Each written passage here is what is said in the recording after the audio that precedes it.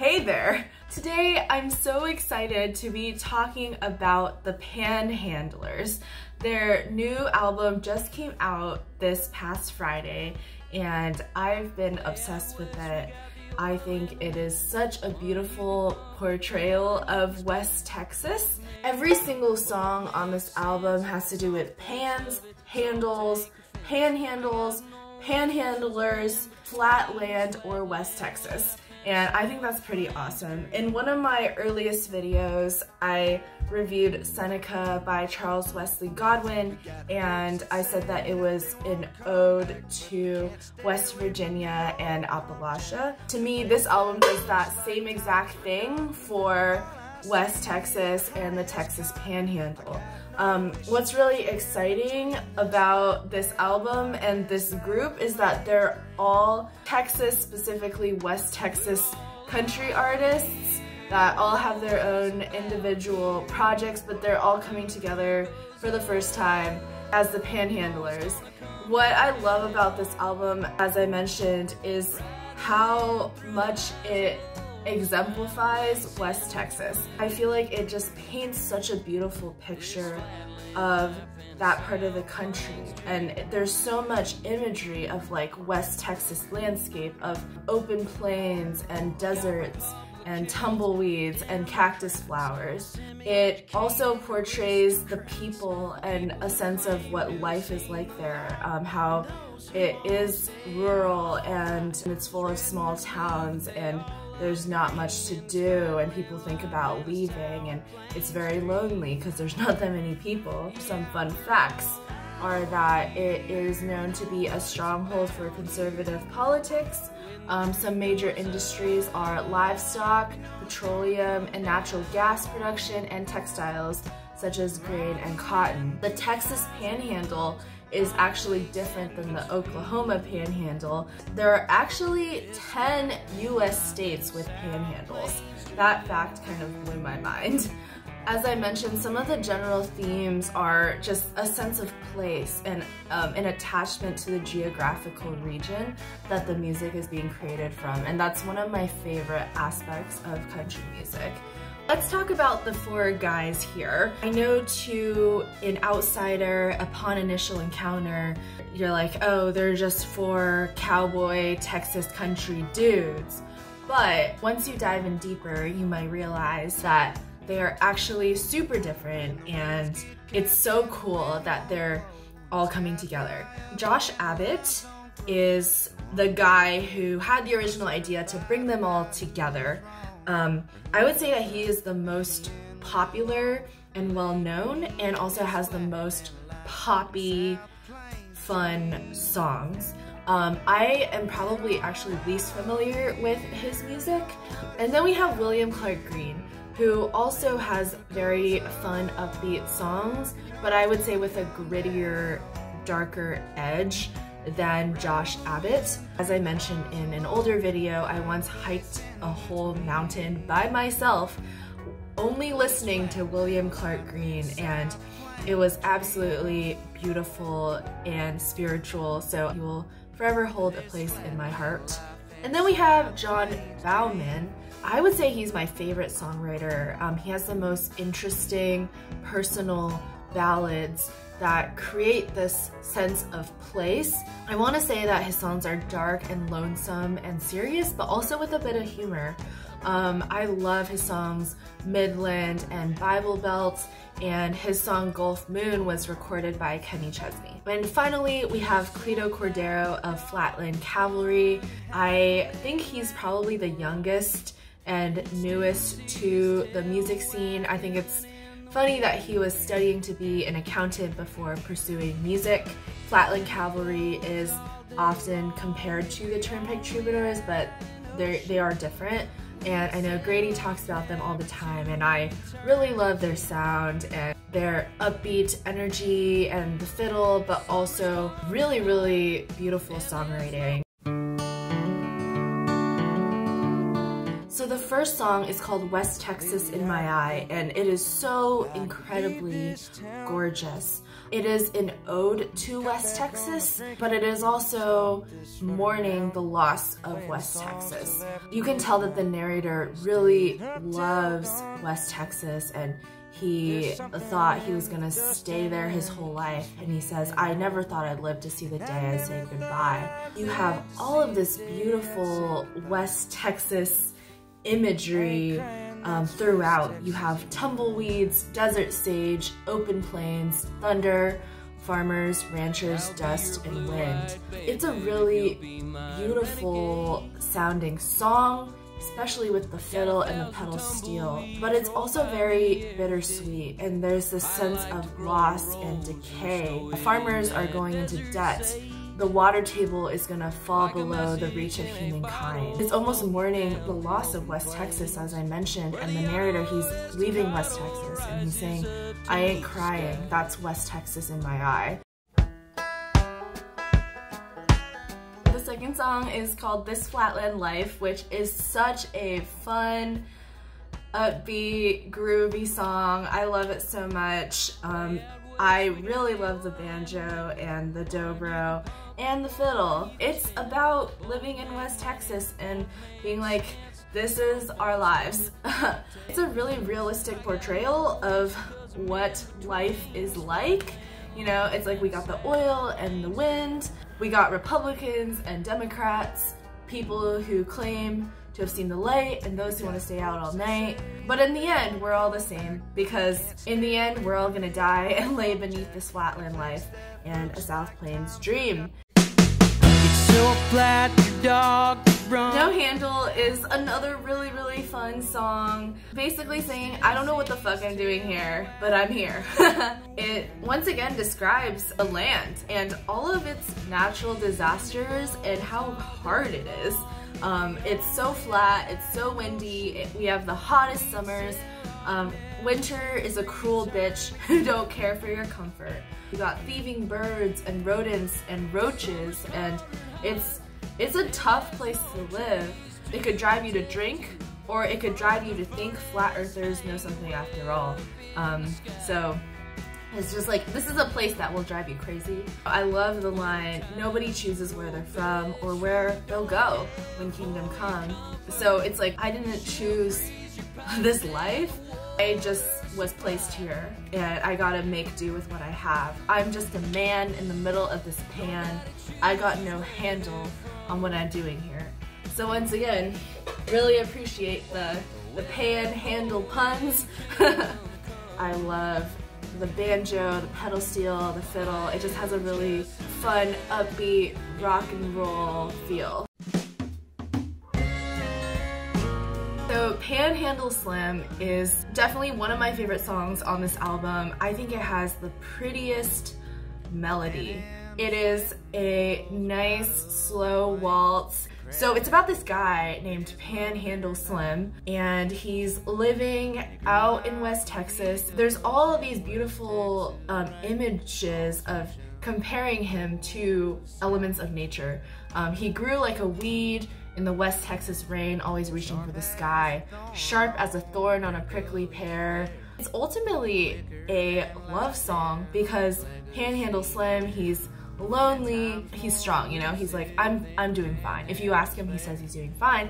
And then he meets this girl and her eyes are like sapphire and she looks finer than a Georgia O'Keeffe. It's kind of ambiguous whether they end up together, but I would like to think that they do. it's a super cute love story about a lonesome cowboy who is in search of love and meets a girl at the end with a beautiful melody and lyrics and instruments. Once again, you get pedal steel, banjo, and fiddle. Texas Girl, I would say, is the most Turnpike Troubadours-y song on here.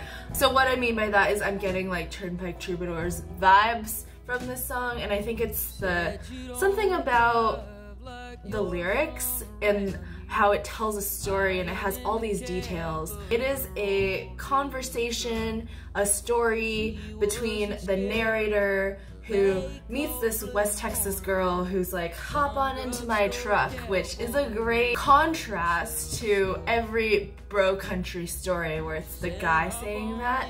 The West Texas girl gives him a ride in her truck and then takes him home and then they end up married in the end. Sorry for the spoilers, and you find that out because it says streamers and cans on the back of a flatbed.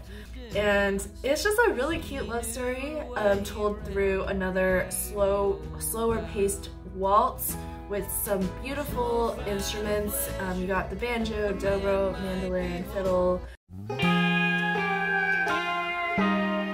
Oh my gosh, I love this song so much. It's definitely also one of my favorites. What is cool is that the word panhandler has multiple definitions here. Like, this song is kind of weird because you're like, okay, the song is called The Panhandler by the Panhandlers on the Panhandler album. And you're like okay that's a lot of panhandlers.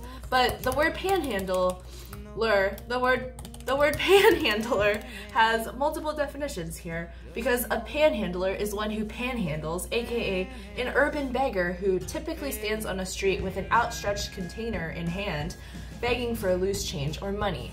So maybe it started because they started with pans. Um, so this is actually a song about um, panhandlers, not to be confused with someone who is from the Texas Panhandle. I freaking love this song. It's in a minor key, which gives it kind of this dark ballad quality, but it has hopeful undertones.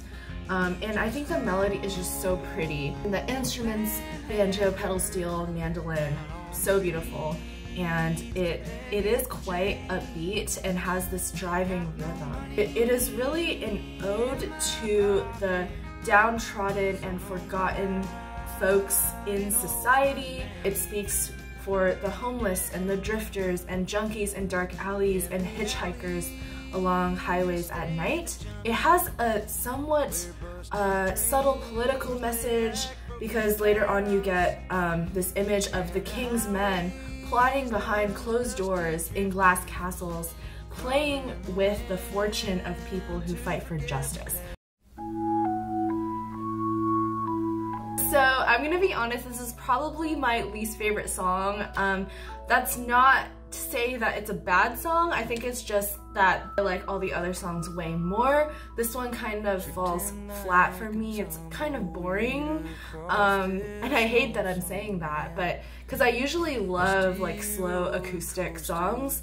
Um, but there's just not too much going on here and that's maybe that's the point of the song you know it's about being lonely it's about having a lonesome heart and um, you know once again you get some Texas imagery um, you have tumbleweeds and desert sands. It also has this like spacey, echoey, electric quality, and which is funny because that's how I described the John Moreland album, which I just reviewed. Um, but I don't feel like it works as well here within this album. There's all these comparisons of like, if I was the moon, if I was the sun, if I was a penny, um, and it's this thought experiment, I guess, of like, if I were this, what would I do? And um, that's cool, I guess, but um, I don't know, this song I'm not really like coming back to.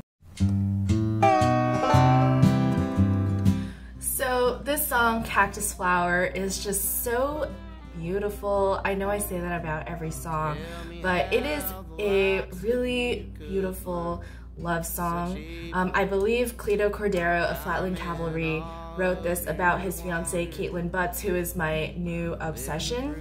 Um, and apparently it was written as part of like a songwriting challenge exercise and it turned out beautifully. It basically likens her to a cactus flower, which is once again beautiful West Texas um, desert imagery and um, you know it's a love song and usually I'm like wow love songs are so boring. But I really love this one because it um, has images and phrases that are really unique and quirky. I love the line she's a stubborn sunburned soul swaying in the summer wind. A lot of alliteration there. I think it just paints this beautiful picture of this cactus flower girl. the dobro, fiddle, banjo. Mmm, yes, awesome, amazing, beautiful. Oh my gosh, this song is amazing. This is basically like the group's anthem. Um, it's sung by Josh Abbott and it's so fun and it's probably the most like basic poppy song on here. Um, to me, it feels like the West Texas version of Red Solo Cup by Toby Keith, but I just love how honest and real it is. And it's just saying, this is us, this is our life. Um, we're a rowdy group of dreamers, drinkers, and has-beens. And the best part to me is the, um, I guess it's the bridge where he introduces all of the members of the Panhandlers. It's just a beautiful portrayal of their personalities and them all, all four of them coming together. Um, you know, William's loud, but he's a good hay. John's an eloquent and pensive writer. Cleto's a poet and we all know it. Worries about the world and tries not to show it. Me, I'm pretty blunt and I've got a good heart. Tonight, the only place I want to be is here with y'all. And when I first heard that, it almost made me cry because it was so cute.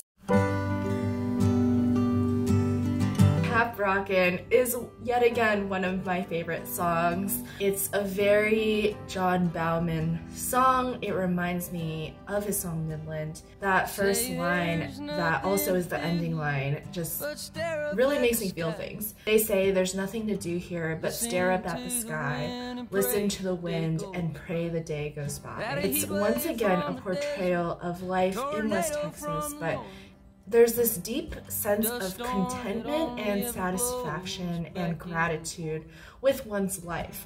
It does portray the negative aspects of living there. There's heat waves, there's tornadoes, there's dust storms. Um, it's it's a hard life, but I've found a way to live here, and I've made a home in this country paradise. I did not know what a cap rock was. I looked it up. So apparently, the cap rock is a region in the panhandle of Texas, west of the Cap Rock Escarpment. Um, I did not know what an escarpment was either. Um, apparently, it's where like the land is like flat and then it like goes up into a mountain. So gonna do a little cap rockin'. I believe is just living in this area and being happy with life there. And you have this these images of county fairs, front porch rocking chairs, and just looking up at the stars. It's so beautiful and peaceful and such a fulfilling end to this album and ties it all together. This album, as I mentioned, is an ode to West Texas um, that portrays beauty and also the hardships of living there. But despite all of that, I'm gonna stay here and it will be a part of me forever. And um, I really love this album, guys, as you can tell. I hope you love it as much as I do. Bye. slow